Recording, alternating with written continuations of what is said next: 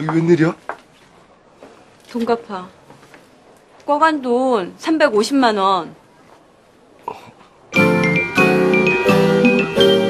사사건건 별의별 거 다 기억하는데 돈 빌려고 한 거 기억 못하는 거.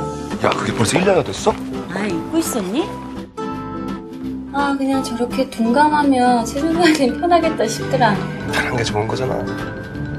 저렇게 멀쩡하니. 반짝거리는 것도 여전하고. 내가 서른 넘었다는 거 사람들이 안 믿어. 너 돈 때문에 나 찾아온 거 맞아? 내가 보고 싶어서 할까? 아 이거 물 묻었잖아 이거 됐어, 준아. 아 뭐가 또 알기는 아니? 꿈 풀렸다 야 누가 너 생각하나 본데? 귀여워.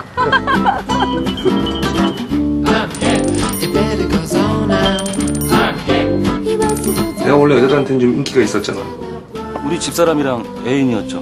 그럼 같이 잤나? 너 그런 남자 어떻게 생각해? 그러고 보니까 내가 꽤 괜찮은 남자 같다 그렇지 않냐?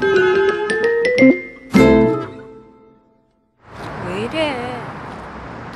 아, 네가 이쪽 얼굴 좋아했었잖아 난 네가 이쪽 좋아해가지고 늘 네 왼쪽에 서 있었는데